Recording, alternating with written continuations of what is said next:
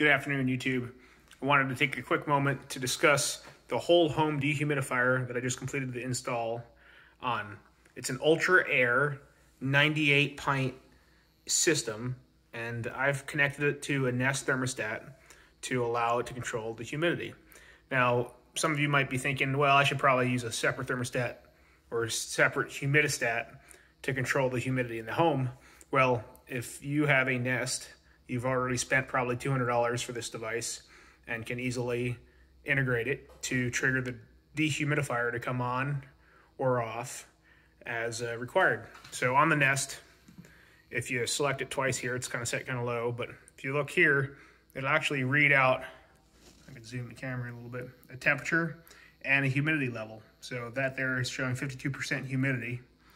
And with a couple minor settings in the professional mode, you could actually um, adjust and set it to that. So what I'm going to do is I'm to pull this nest off the wall just for a second so you can see the terminal that I really care about is the star terminal. So that brown wire is not used. I have one, two, three, four, five, six, seven, eight wires. So around the black tape is a black and a white colored wire. So that's two. Three is yellow, four is orange, five is green, six is red, seven is blue, and eight is the star brown wire. So the C wire is the, called the common wire in this system, and that's going to be important. Uh, I'll show you here in a second when we go down to the, the crawl space. But the star wire or the brown wire is just an extra wire that goes from the thermostat here down to the air handling unit and then um, what we'll do is we'll use that brown wire at the air handling unit and pull that to the dehumidifier, and that will send a 24 volt signal to trigger the dehumidifier to come on and off.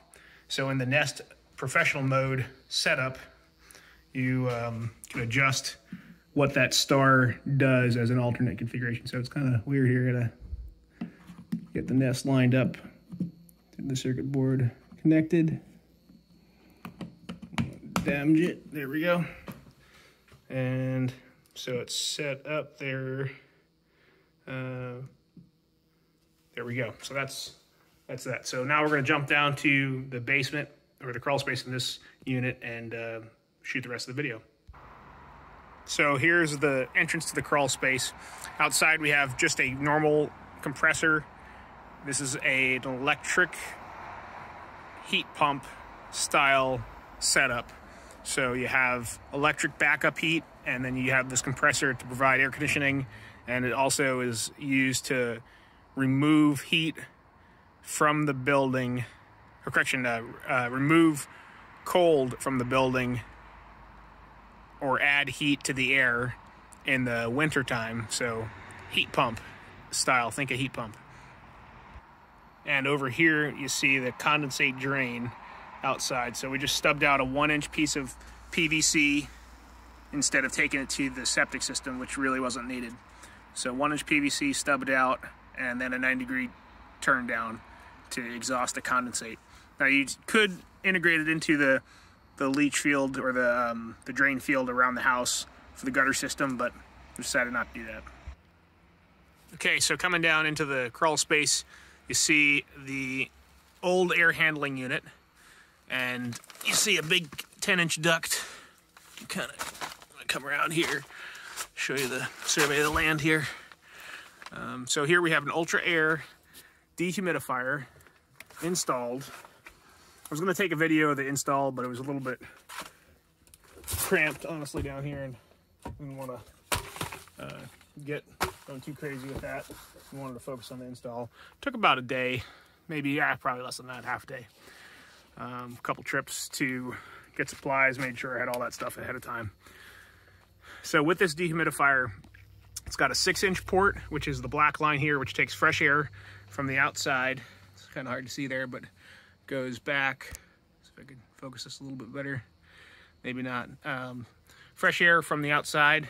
And then this 10 inch duct here takes a suction from the return cold air return side on the air handling unit. So what I did here was just modify, this was a six inch opening, I modified that to be 10 inch opening. and then uh, ran a 10 inch line for that, and then ran the cold air, the external air supply that actually went to this, to the dehumidifier so that we get dehumidified fresh air into the house. Um, so one nice feature about this Ultra-Aire system is that it's got a filter access panel on both sides. So this access panel is on the other side, same same access panel. You can open it up and filter slides out. One not so nice thing about the Ultra-Aire is that the filter size is kind of proprietary. So you're gonna find yourself looking for a 14 by 17.5 by 1.75 inch filter. It's a MERV 13, which is pretty high high rating, so you gotta keep that in mind. So you have the condensate drain here, and then goes to a condensate pump, and then the thin line kind of goes up and over, and I'll show you the other side there where that discharges to. And then power supply for the condensate pump, power supply for the uh, Ultra-Aire dehumidifier coming to a receptacle that's pretty close proximity to everything else here. And then the condensate pump for the air handler for the air conditioning side is there.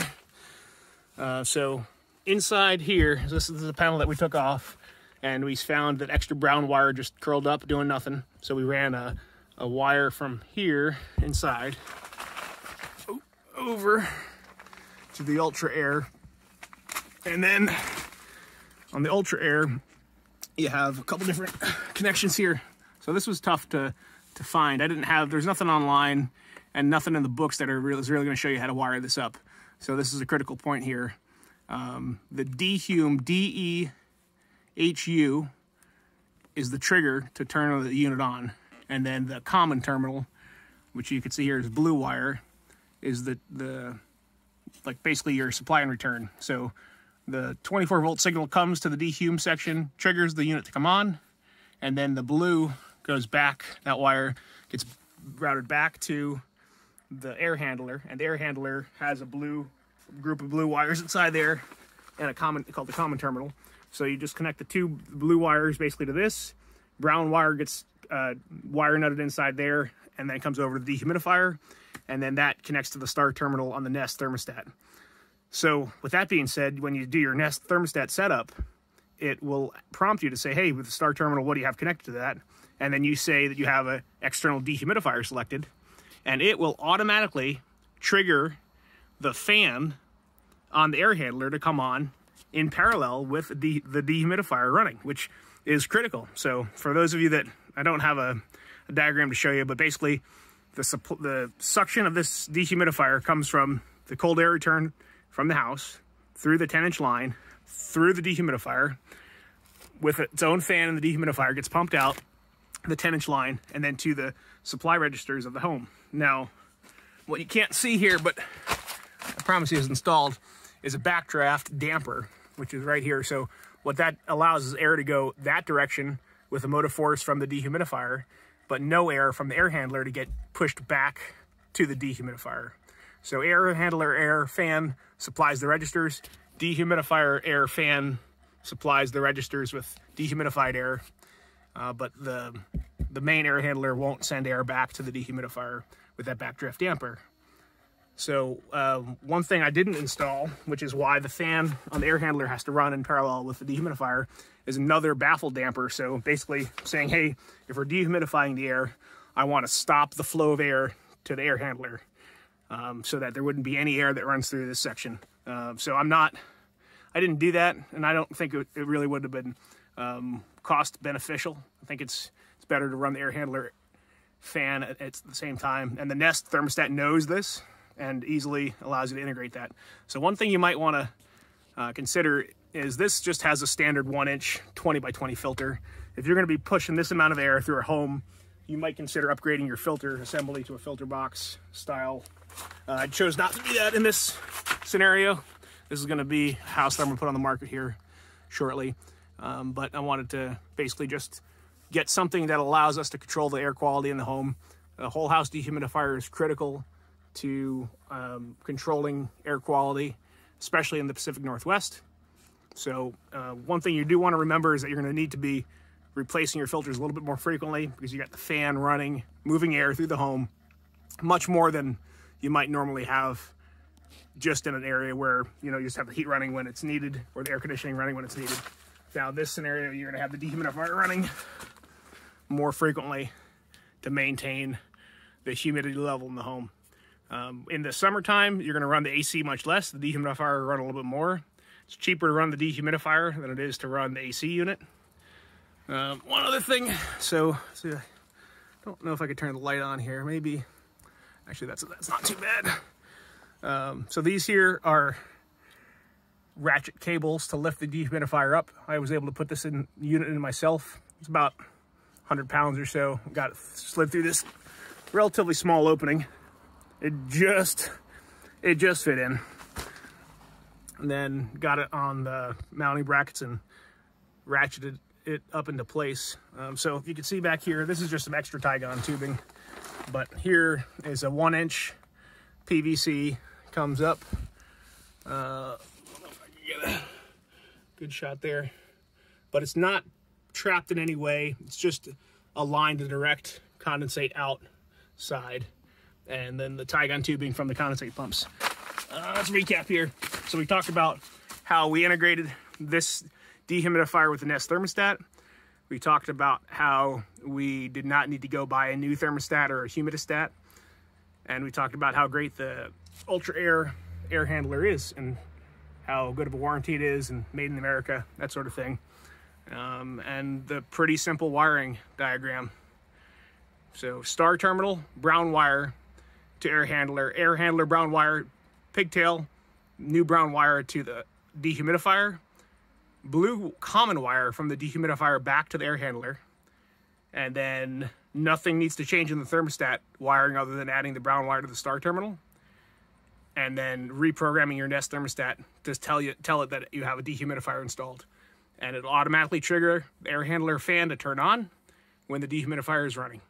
So I uh, hope this uh, helped some folks that are getting ready to install an Ultra-Aire system. This doesn't only work with Ultra-Aire. Any dehumidifier that is a 24 volt triggering system will work with a Nest thermostat. So keep that in mind. If you don't want to spend the money on the Ultra-Aire and you want to get something cheaper, you can do that.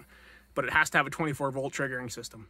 So keep that in mind with your uh, plans and preparation.